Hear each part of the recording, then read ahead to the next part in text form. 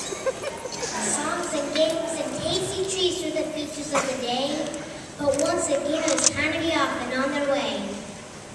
Down, down, down, the sleigh landed smooth and steady. It's a Kwanzaa fair and everyone's getting ready. First the color filled the hall with lots of decorations? For this time of pride and joy, the Kwanzaa celebration. Elsa loved the drum I'm all shook up. and the elves knew